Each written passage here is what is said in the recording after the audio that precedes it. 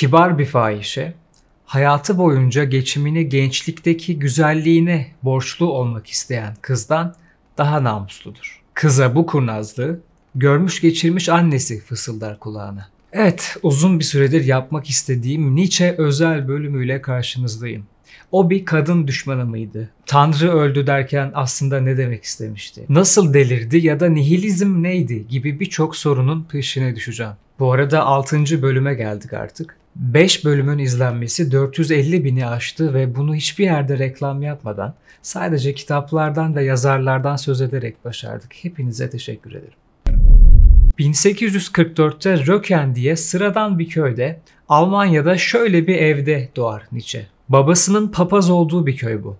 Ama kısa bir süre sonra babayı beyin tümöründen kaybediyor. Derken 5 yaşına geldiğinde annesi, kız kardeşi, anneannesi ve iki tane de teyzesiyle Namburg'a yerleşiyor. Beş farklı kadının hüküm sürdüğü bu evde iyice içine kapanıyor Nietzsche. Ve kim bilir belki de kadınlarla ilgili fikirleri ilk defa bu evde şekillenmeye başlıyor. Onun için tasarlanan bir hayat var ufukta ve buna karşı gelmeye gücü yok Nietzsche'nin. Ne yapıyor? Babası gibi papaz olmak için Bonn Üniversitesi'ne gitmeye başlıyor ama içinde hep bir huzursuzluk, hep bir iç sıkıntısı. Derken yaz tatili için eve döndüğünde bir daha asla kiliseye gitmeyeceğini ve okulu bıraktığını açıklıyor. Tabii evde gürültü kıyamet kopuyor. İşte tam da bu dönemde basıyor ilk çığlığı Tanrı öldü diye. Peki yazar burada ne demek istemiş? Bir kere Tanrı öldü demek Tanrı yok anlamına gelmez. Çünkü bir şeyin ölmesi için önce yaşaması gerekir ki yaşamış olan bir şeye de yok diyemezsiniz. Nietzsche'nin burada öldürdüğü Tanrı kilisenin tanrısı. Çünkü kilisenin anlattıklarıyla bilimin söyledikleri sürekli çelişmeye başlıyor. Kilise diyor ki mesela boşuna öyle teleskopla gökyüzüne falan bakıp oradaki melekleri rahatsız etmeyin. Dünya dışında bir gezegen yok. Bruno diyor ki hayır efendim başka gezegenler de olabilir. Hemen kaza bağlayıp yakıyorlar. Ya da kilise diyor ki dünya düz ve sabit. Sonra Galileo çıkıyor ve diyor ki dünya yuvarlak ve dönüyor. Kiliseye karşı mı çıkıyorsun sen? Atın hapse. Neden? Çünkü yargıçlar din adamlarından oluşuyor ve bilimle uğraşan herkesi kafir olarak görüyorlar. Dolayısıyla Tanrı öldü, onu biz öldürdük diyen Nietzsche, din adamlarının yalan yanlış bilgilerle kendi bağlamından koparttığı Tanrı üstünden para ve ün kazanmasına ve bu şekilde insanları korkutup onlara hükmetmesine tepkiliydi. Bunu protesto ediyordu. Sonra benim de çok sevdiğim İnsanca, Pek İnsanca kitabını yazıyor ve böylece bir filozof, bir düşünür olarak dikkat çekmeye başlıyor.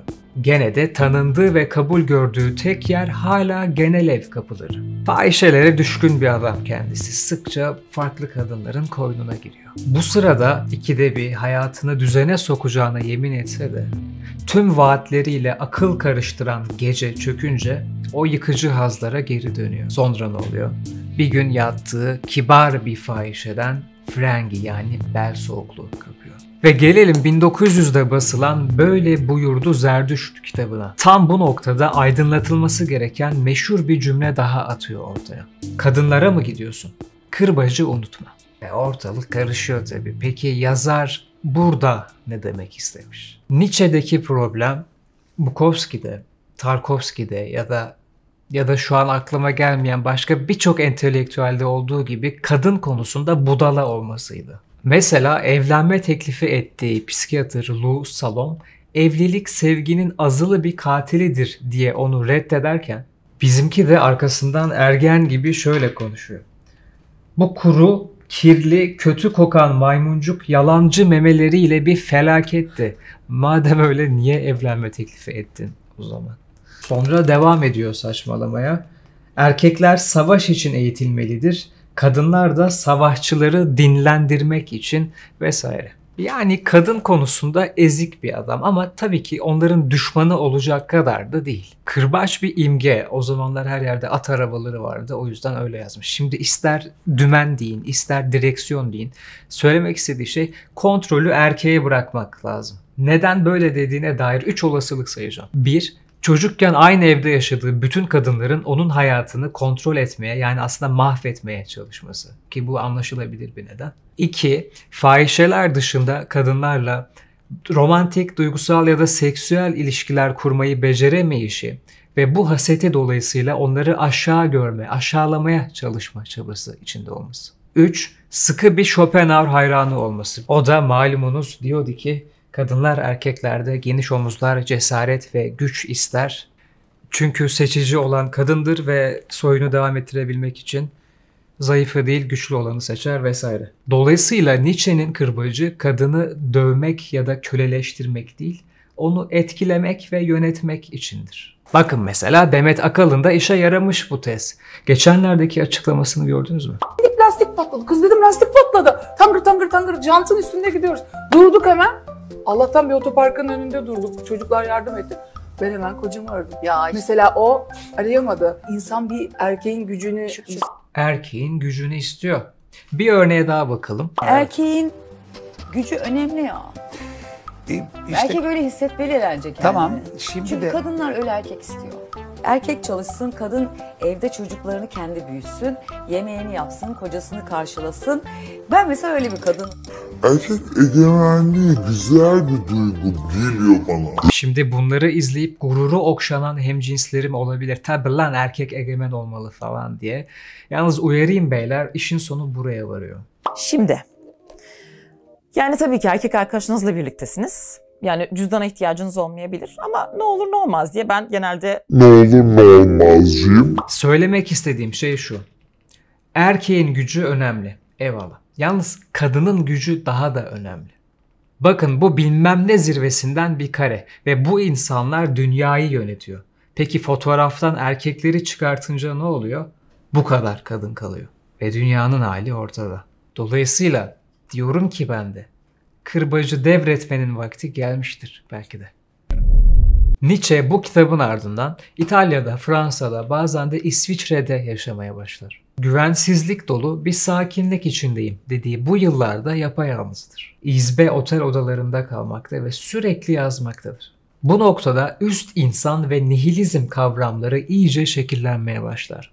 Peki nedir bu üst insan deyip durduğu şey? Üst insan en basit tanımıyla kim olmak istediğine ve nasıl yaşayacağına kendi başına karar verebilen ve bu yolda bedel ödemeye hazır olan insandır. Peki üst insan mükemmel biri midir? Hayır. Çünkü mükemmel diye bir şey yoktur. Üst insan hatalarını, kusurlarını ve üzüntülerini de toplayıp bütünün içine yerleştirebilen insandır. Nietzsche'ye göre insan aşılması gereken bir varlıktı. Üst insana geçiş yapabilmek içinse maddiyat istencinden, yanılgılarından ya da yücelttiği yanılsamalardan kurtulmalıydı insan. Fakat tüm bunlar üst insanın yani özgür insanın her şeyi yok saydığı, her şeyi reddettiği anlamına da gelmez. Tam da bu yüzden Nietzsche için nihilisti demek yanlış. Çünkü ona nihilist demek kanseri teşhis eden bir doktorun kanseri savunduğunu söylemek gibi bir şey. Nietzsche teşhis etti ve nihilizmin insan psikolojisindeki yıkıcı etkisini gördükten sonra şöyle söyledi. Adına nihilizm dediğimiz bu şey bir hastalık ve bunun tedavi edilmesi gerek. Yani nihilizm oturulacak bir ev değil, var olan değerleri yıkmak ve böylece yeniden inşa etmek için uğranacak bir limandı. Evet bir seyyah gibi, bir berduş gibi yaşadı ve o yabani yalnızlığında yazdı tüm kitaplarını. Ama aynı zamanda yaşamı ve içindeki coşkuyu da onayladı.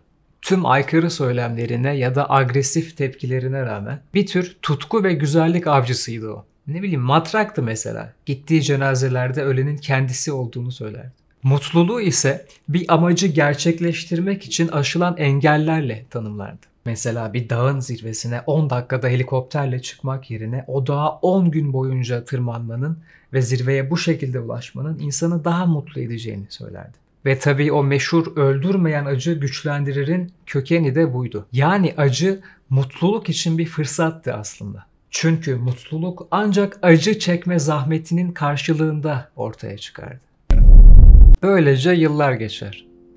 Bir sürü kitap yazan Nietzsche 45 yaşına gelir. O zamanlar tedavisi olmayan frengi hastalığı iyice ilerlemiş ve beynine ulaşmıştır artık. 1889'un Torino sokaklarında düşünceli adımlarla dolanmaktadır Nietzsche. Köşe başında bir kalabalık görür, yavaş adımlarla yaklaşır onlara. Bu kalabalık aldığı tüm kırbaç darbelerine rağmen hareket etmeyi reddeden bir atı izlemektedir. Derken öfkeden kuduran faytoncu kalabalıktan da aldığı gazla kırbaç darbelerini iyice artırır. Hatta bunu öyle abartır ki at artık dayanamayıp yere çöker. Nietzsche kalabalığın arasından koşarak sıyrılır ve faytoncuyu durdurup atın yanına gider. Boynuna sarılır. Onun gözlerinin içine yani aslında bir aynaya bakmaya çalışır bu sırada. Ve tam ona ağlayarak bir şeyler söylerken bilincini yitirir ve bayılır. Nietzsche bu olaydan sonra akıl hastanesine yatırılır. 10 yıl boyunca bir daha kimseyle konuşmaz ve ölür. Nietzsche'nin doğduğu evle gömüldüğü yer arasında 30 metre var. Tuhaf şey tabi.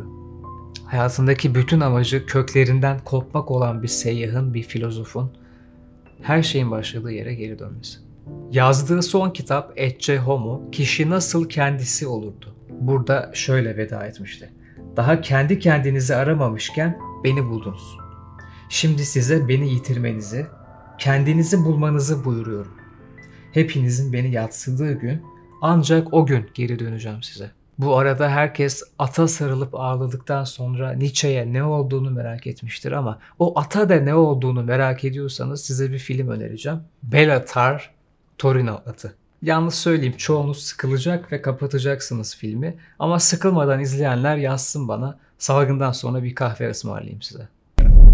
Bu bölüm için seçtiğim sesli kitap Lev Shestov'dan Dostoyevski ve Nietzsche. Trajedinin felsefesi. Bu kitabı iki nedenden dolayı önemsiyorum. İlki bu iki dahi arasındaki benzerlikleri ve farklılıkları anlattığı için. İkincisi ise Nietzsche'nin Dostoyevski hakkındaki görüşlerine yer verdiği için.